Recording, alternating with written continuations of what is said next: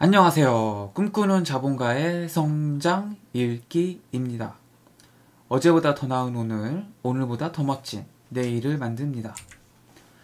네, 오늘은 강원도 산골 출신 30대 월급쟁이의 아크로 리버파크 구입기 강원도 살, 산골 출신 30대 월급쟁이의 아크로 리버파크 구입기라는 책을 가지고 이야기를 한번 나눠보도록 하겠습니다. 월급밖에 수입이 없었는데 어떻게 강남 아파트를 샀을까? 뭐 이런 부제가 달린 책입니다. 저자는 훈민 아빠라는 분이 쓰셨, 고요 출판사는 황금 부엉이에서 나왔습니다. 출간일은 2019년 3월 13일에 출간된 책이고요. 가격은 1만 6천원입니다. 총 페이지 수는 360쪽입니다. 네, 이 책의 저자를 소개해드리면요. 이 훈민 아빠라는 분은 네, 현직 기자로 활동하시는 분입니다. 근데 이제 뭐 부동산 책이긴 한데 부동산 뭐 기자로 활동한 적은 없고 뭐 금융이라든지 증권 뭐 이런 분야의 경제부 기자로 활동을 주로 하셨다고 합니다. 그래서 오랜 기간 동안 전세 난민으로 살았기 때문에 지금은 집을 많이 갖고 있지만 전세민의 설움을 잘 안다고 하십니다. 그 총 11번의 이사를 거쳐서 현재 서울 서초구 반포동 아크로 리버파크에 살고 계시다고 합니다. 네, 그래서 어, 아크로 리버파크에 처음 입주했을 때 어머니가 눈물을 흘리셨다고 네, 하고 있습니다. 네, 정말 아크로 리버파크의 힘이 대단한 것 같습니다. 네. 네 오늘은 그 다섯 가지를 한번 이야기해 볼 건데요. 첫 번째, 기회는 다시 또 찾아왔다. 두 번째, 라면 스프는 반만 넣어서 반은 밥에 비벼 먹다. 세 번째, 집은 두 채 가지고 있어야 상승에 베팅한 것이다. 네 번째, 확신이 든다면 올인해라. 다섯 번째, 신문을 재테크에 활용하지 마라. 이 다섯 가지에 대해서 이야기해 보도록 하겠습니다. 네, 페이지 6쪽입니다. 기회는 다시 또 찾아왔다. 필자는 11년 전인 2008년 1월쯤 부자가 되고 싶었다. 그때는 아내와 결혼을 결심한 시점이었다. 당시 필자가 가진 돈은 4천여만 원 뿐으로 변변한 신혼집을 구할 수 없었다. 아내 손을 잡고 집을 보러 다녔는데 화장실 하나 제대로 갖춰져 있지 않은 정말 허름한 곳이었, 허름한 곳뿐이었다. 집을 보고 나오는 길에 아내는 눈물을 흘렸다. 결혼을 꿈속의 무언가처럼 막연하게 인식하다가 갑자기 현실로 와닿았을 것이다. 아내는 미안하다고 하면서도 울었다. 그날 필자는 블로그에 일기를 썼다. 부자가 되고 싶다. 하지만 사업을 하지 않는 이상 부자가 될 수 있는 기회는 없다. 기회는 선배 세대가 모두 가져갔다. 차라리 50년 전에 태어났으면 집값이 너무 비싸다. 결과론적으로 말하면 필자는 기회를 얻었고 잡아냈다. 아마 이번에도 똑같을 것이다. 영원히 기회가 오지 않을 것 같지만 기회는 온다. 집값은 언젠가는 떨어질 것이며 정부는 경기 부양 차원에서 다시 한번 부동산 부양책을 내놓을 것이다. 그리고 대출 규제도 싹 풀어줄지 모른다. 어쩌면 금융위기가 또 올 수도 있다.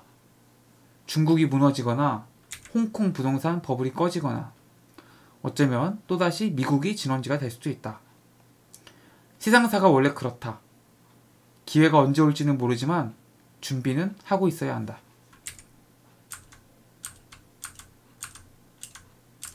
이제 2010 4년, 5년 이때부터 이제 부동산이 어, 상승하면서 많은 분들이 부동산에 이제 관심을 갖고 있고 뭐 재테크를 공부하는 게 상당히 많이 붐을 불었죠.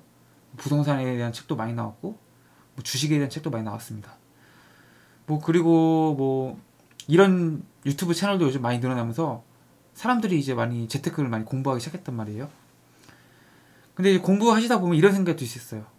우리가 공부를 하는 건 과거의 뭐 투자기 과거를 가지고 공부하는 거잖아요. 그러니까 뭐 97년 IMF라든지 2008년 글로벌 금융 위기 뭐 이런 거를 뭐 사례를 공부하면서 야 이 시기가 왔으면 나도 진짜 돈 벌었을 텐데 내가 이때는 왜 부동산을 몰랐지? 이런 생각을 하시면서 아 이제는 뭐 이런 기회가 또 올려나? 이제는 다 끝났지 뭐 내가 조금만 더 일찍 공부했더라면 이런 생각을 하고 계신 분이 있을 수 있다고 생각해요. 이 책의 이제 필자도 2008년 1월쯤에 이제 부자가 되고 싶었다는 거죠. 근데 이제 이제 이 당시에 투자를 이제 하려고 하니까 본인은 약간 이제 기회가 없다고 느끼, 느껴진 거예요. 야, 내가 97년 IF 때 그때 뭐 주식 샀으면 그때 뭐 부동산 샀으면 큰 돈 벌었을 텐데 약간 뭐 이런 생각이 들면서 이제 뭐 집값도 너무 오르고 해가지고 기회라는 게 아예 없다 라고 생각을 했던 거죠. 그런데 아니냐 다를까 기회는 또 어김없이 왔다라는 겁니다. 그래서 아마 부동산 공부를 많이 하시는 분이면 하시는 분일수록 야, 내가 진짜 과거 같은 기회가 온다면 나도 진짜 돈 많이 벌 수 있을 것 같은데 라는 생각을 아마 하실 거예요. 근데 분명히 기회는 온다라는 거. 그러니까 우리는 이제 열심히 공부하면서 이제 그런 기회를 기다리는 거죠. 뭐 아파트는 어떻게 투자해야 되고 어떤 아파트가 좋은지 알아야지 위기가 터졌을 때 그때 대중의 여론에 휩쓸리지 않고 진짜 알짜 부동산 알짜 아파트들을 줍줍이라고 하죠. 죽는 거. 그래서 돈을 이제 벌어야겠죠. 이 책의 저자가 기회를 얻었듯이 우리에게도 기회가 있다는 거예요. 2008년도 놓치고 97년 놓쳤지만 앞으로 뭐 2020 몇 년에 뭐 또 어떤 기회가 올 수도 있을 거란 얘기죠. 그래서 우리는 계속 공부를 해야 되는 거고 공부하는 사람이 그런 기회를 잡을 수 있다는 겁니다. 그러니까 여기 이 책의 저자도 강조하고 있죠. 기회가 언제 올지는 모르지만 준비는 하고 있어야 된다. 준비한 자만의 기회를 잡을 수 있으니까 그렇습니다. 네, 그래서 열심히 위기가 오는 그날까지 열심히 공부해서 우리의 우리의 공부가 언젠가 투자의 성과로 이어지기를 간절히 바라겠습니다. 네, 페이지 18쪽입니다. 라면 스프는 반만 넣어서 반은 밥에 비벼 먹다. 그 시절에 필자가 얼마나 궁상이었느냐면 라면을 하나 사면 수프를 반만 넣고 나머지 반은 밥에 비벼 먹었다. 이건 하도 버릇이 들어서 지금도 라면을 먹을 때는 수프를 아꼈다가 라면 사리를 사서 따로 또 끓여 먹는다. 가끔 너구리나 짜파게티 같은 굵은 면의 라면을 먹을 때도 이렇게 했다가 와이프가 질색을 한 적도 여러 번이다. 이 이야기를 식음료 취재 기자 시절 때 농심 홍보 담당자에게 말했더니 그렇게까지 라면 값을 아끼는 사람 얘기는 처음 듣는다. 다들 그렇게 했다간 우린 다 망한다라며 칭찬을 해줬다. 여러분은 이 라면의 사례, 이 책의 저자가 이야기하는 라면을 하나 사면은 반은 뭐 원래대로 끓여 먹고 반은 또 라면 사리를 사서 끓여 먹는 이 얘기를 들었을 때 어떤 생각이 드시나요? 약간 좀 별로다. 왜 이렇게까지 살아야 되나 이런 생각이 드시나요? 어, 저는 사실 많이 공감을 합니다. 네, 처음에 돈이 없, 는 사람이 할 수 있는 게 별로 없어요. 아끼는 것밖에 없거든요. 아끼는 게 제일 쉬워요. 뭐, 왜냐면은 내가 월급을 250만 원 받는데 갑자기 월급 350만 원 늘릴 수는 없거든요. 그러면 당장 할 수 있는 게 내가 지금 쓰는 거 좀 아끼는 거, 절약하는 거. 뭐 그게 얼마나 되냐라고 할 수도 있겠지만 그런 습관이 하나하나 들면은 생각보다 꽤 크, 크거든요. 그래서 저는 이 이야기를 들으면서 너무 공감을 했습니다. 네. 저도 뭐 사실 이렇게 하기 때문에 뭐 이 저자가 뭐 되게 찌질하다거나 되게 뭐 궁상을 떤다 뭐 이렇게 생각이 들진 않고 당연히 이렇게 해야 된다라고 저는 느낌이 왔습니다. 뭐 실제로 제가 그렇게 하고 있고요. 그래서 농심 홍보 담당자에게 말했더니 그렇게까지 라면값을 아끼는 사람 얘기는 처음 듣는다 이런 얘기 했다는데 이 농심 담당자 저를 만나지 않았기 때문에 네, 아마 처음 처음 만나지 않았을까 이분을 그렇게 생각합니다. 그래서 뭐 처음에 진짜 돈을 벌기 위해 살 수 있는 거는 뭐 투자도 어느 정도 존재돈이 있어야 하잖아요. 그렇기 때문에 뭐 막연하게 뭐 부동산 투자하면 돼, 주식 투자해야 돼 적은 그렇지만 실질적으로 막상 하려고 했을 때 어, 할수 있는 게 없습니다 진짜 여러분들 다 아시겠지만 음, 할수 있는 게 많이 없어요 그러면 아껴야 돼요 아껴야 돼요 저도 이제 학교 다닐 때 걸어 다니고 거의 2시간? 네, 제가 그 신촌에 학교가 있으니까 신촌부터 제가 그때 약간 기숙사 같은 데 살았거든요.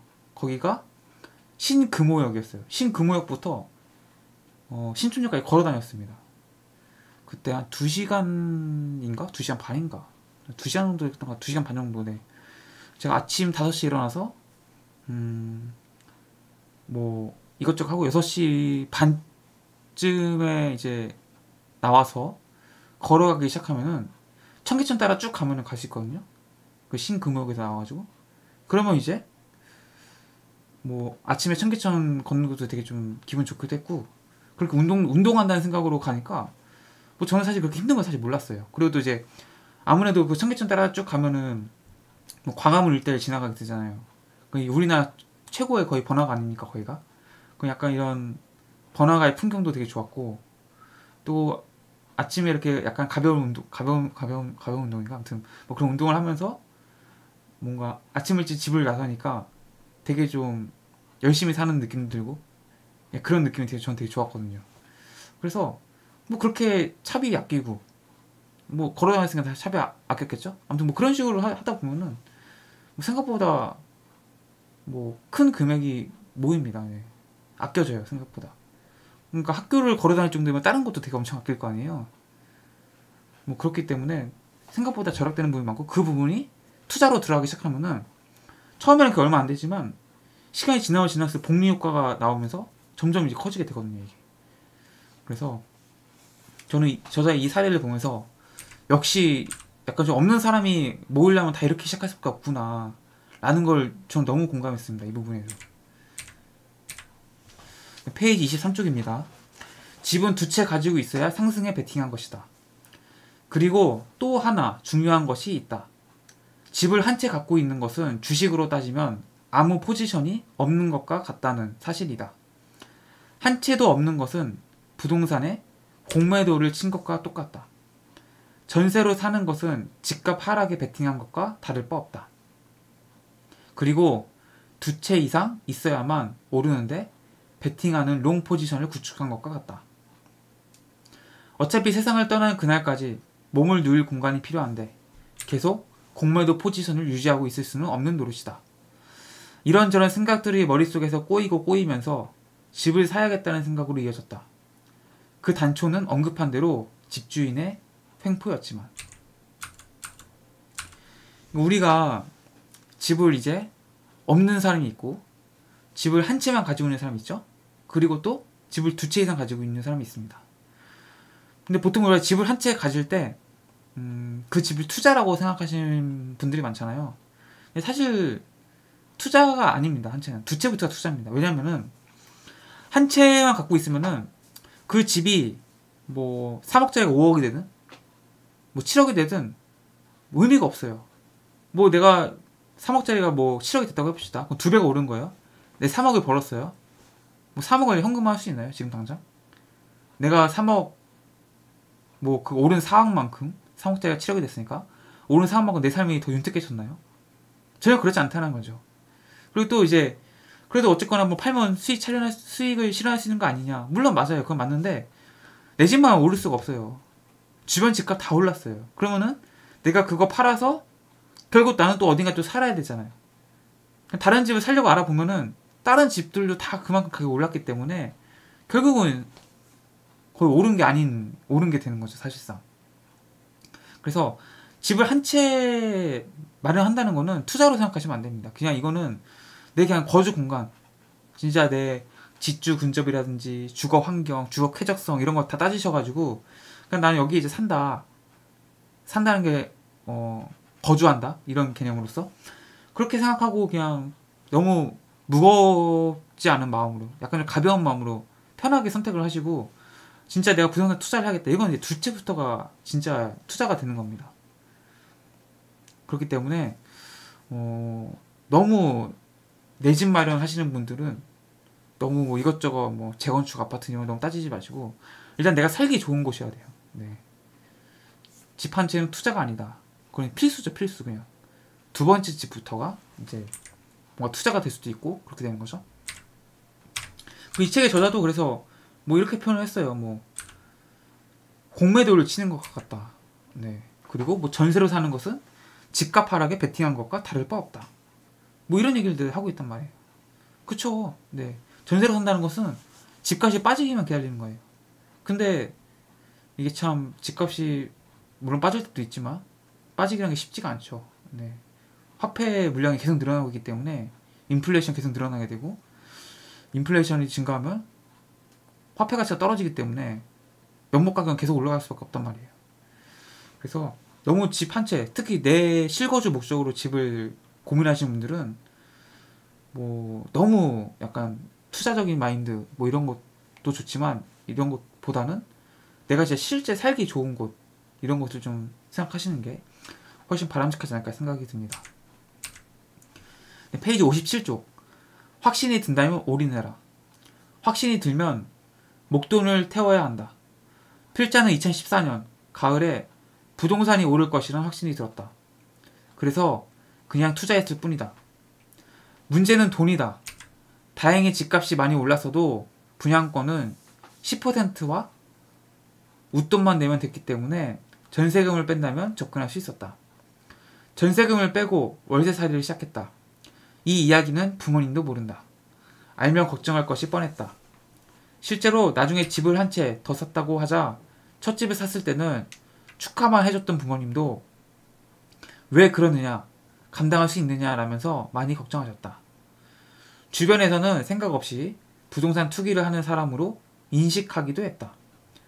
투기꾼이라는 식의 이야기를 들을 때마다 당신은 돈 벌 기회가 확실하게 보일 때도 안 하시느냐라고 응수했다. 두 번째로 산 반포 분양권은 추후 에 다시 팔았다. 이 이야기는 뒤에서 다시 하도록 하겠다. 여기서 강조하고 싶은 것은 딱 하나다. 확신이 든다면 태워라. 나도 살 뻔했는데, 나도 사고 싶었는데는 하나마나한 옹알이와 다름없다. 그러니까 우리가 이제 확신이 들면은 올인을 해야 된다는 거죠. 이 책의 저자는 2014년 가을에 뭐 기자 활동도 하고 뭐 듣는 것도 많고 느끼는 게 많았겠죠. 2014년 가을에 부동산이 오른다라고 이제 확신을 했다는 거예요.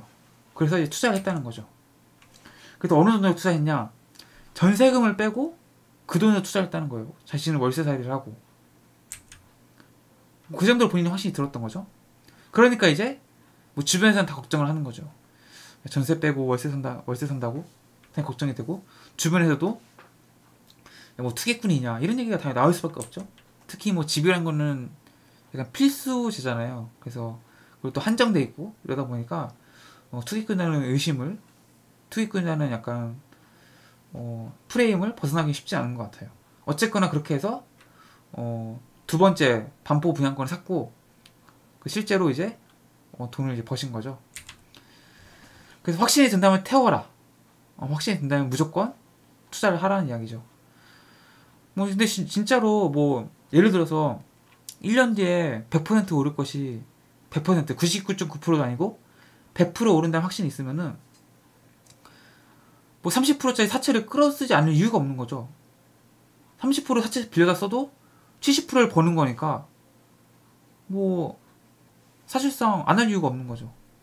그러니까 본인이 만약에 어떤 확신이 든다 이러면은 한번 자신을 믿고 베팅을 이제 해볼 해볼 만한 거죠. 또 해야지 돈을 벌 수밖에 없는 거고.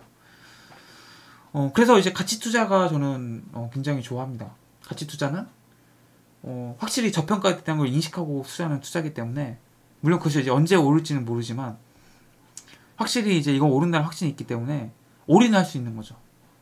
저는 그래서 가치 투자 굉장히 좋아합니다. 네, 부동산도 그렇고 주식도 그렇고. 네, 그래서 음, 이런 확신이 들려면 또 공부를 열심히 하겠죠. 네. 네, 페이지 70쪽입니다. 신문을 재테크에 활용하지 마라. 신문은 꾸준히 읽을 때 재테크 정보를 얻는 창구로 활용하지는 말라고 말하고 싶다.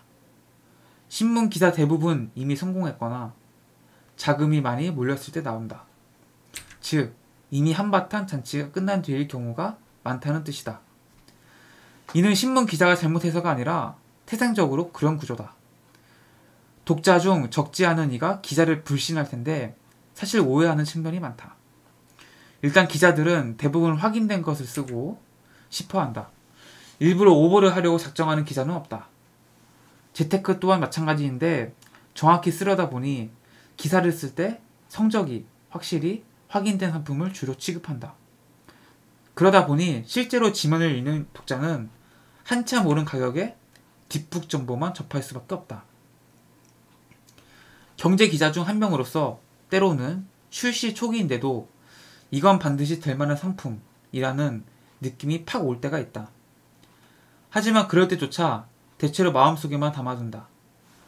자칫 잘못했다가는 돈 받고 기사 썼다는 오해를 받을 수 있어서다. 설령 흔행에, 흥행에 실패하고 나면 쥐구멍에 숨고 싶은 마음이 든다. 그러니까 이제 이, 이 책의 저자가 신문 기자죠. 그런데 이제 신문을 재테크에 활용하지 말라는 말을 하고 있습니다. 그래서 조금 재밌어서 갖고 왔는데, 어, 이제 기자라는 직업이라는 게 우리가 뭐 기레기라고 표현을 하고 많이 좀 불신하는 측면이 있잖아요. 근데 그거를 약간 오해하는 측면이 많다고 이야기하고 있습니다. 신문 기자의 입장에서 한번 생각해 볼게요. 신문 기자의 입장에서 생각을 해보면 일단 기사화가 되는 거잖아요. 기사화가 되면은 뭐 인터넷에도 올라가고 또 신문 지면으로 나오게 되죠. 이러다 보니까 많은 사람에게 영향을 미칠 수밖에 없습니다. 여러분이 기자라면은 그러면은 확인된 걸 쓰겠어요? 확인되지 않은 사실을 쓸 수 있겠어요? 당연히 확인되지 않은 건 쓸 수가 없어요. 잘 긴가민가한 것도 잘 쓸 수 없고 70% 확실하고 30%의 약간 의심이나 약간 아닐 수도 있다는 생각이 들으면은 선뜻 이걸 기사화시키기가 굉장히 어려워지는 겁니다. 그러니까 기자 입장에서는 무조건 확실한 거, 확실한 팩트를 추구할 수밖에 없는 거죠. 그러다 보니까 팩트에 대한 체크가 돼야 되기 때문에 어떤 일이 발생하느냐면은 항상 확인된 것만 써야 되잖아요. 그러니까 과거의 얘기밖에 쓸 수밖에 없어요. 지금이 어떻다? 이거는 이제 알 수가 없는 거죠. 지금이 어떻다 쓰는 순간 뭐 그 영향을 줘서 다른 또 결과 나올 수도 있고 그러다 보니까 이미 과거로서 다 완료된 것들만 쓸 수 있는 거예요. 뭐 아파트 가격이 올랐다. 뭐 이런 식으로. 오른 건 이제 사실이니까. 근데 만약에 어 뭐 무슨 아파트가 뭐 오를 것이다. 이렇게 쓰면은 이거 확인되지 않은 거잖아요. 설령 또 안 올라봐요. 얼마나 또 항의를 많이 받겠어요. 이렇기 때문에 우리가 기사를 통해서 신문을 통해서 뭔가 정보를 얻는 것은 뒷북일 가능성이 높다라는 거죠. 가장 이상적인 타이밍은 뭐냐? 나는 이렇게 생각하고 투자했는데 한 달 뒤쯤에 그런 기사 나오는 거예요. 그렇게 그렇게 투자해야 된다. 혹은 그렇게 이게 돼야 된다. 라는 식으로 기사가 나오는 게 가장 베스트인 거죠. 내가 한 발 먼저 들어간 거죠. 그러면 사람들이 그 신문 기자를, 기사를 보고 이제 관심을 갖기 시작하고 관심 갖기 시작하면은 거기 투자를 할 거 아니에요. 투자를 하면은 가격이 이제 올라가기 시작하는 거죠. 그래서 신문은 약간 과거형이다. 이것을 이제 꼭 기억하시고 신문을 통해서 뭔가 새로운 뉴스, 새로운 정보 이런 걸 얻는 것은 어 약간 바람직하지 않다. 그냥 신문 기사는 과거를 설명해 주는 거다. 정도로 이해를 하시면 좋을 것 같습니다. 네, 강원도 산골 출신 30대 월급쟁이의 아크로 리버파크 구입기. 강원도 산골 출신 30대 월급쟁이의 아크로 리버파크 구입기라는 책을 가지고 이야기를 나눠서 보았습니다. 총 두 개의 영상으로 제가 준비했고요. 오늘 그 첫 번째 시간이었습니다. 네, 꿈꾸는 자본가의 성장 읽기는 1일 1성장, 성장하는 책 읽기를 지향하고 있습니다. 경제적 자유, 자기개발, 성장에 대한 다양한 이야기를 나누고 있고요. 이러한 분야에 관심 있으신 분이라면 구독과 좋아요 눌러주시면 감사하겠습니다. 오늘도 함께 해주셔서 고맙습니다.